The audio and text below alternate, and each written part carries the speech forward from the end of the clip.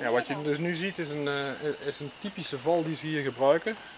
Dan maken ze dus eerst een obstructie met al die eh, takken en dan hebben ze daartussenin van die kleine valletjes staan. Hij heeft hem net al eh, losgemaakt deze. En daar zit dus een eh, ijzerdraadje voor de strik voor om de nek en, en een ander palletje wat hem dan omhoog trekt. En zo wordt er dus een val gezegd over meerdere meters, een tiental meters. Om de zaak allemaal door die valletjes heen te jagen. En dat moet nog logisch nu even opgelost gaan worden.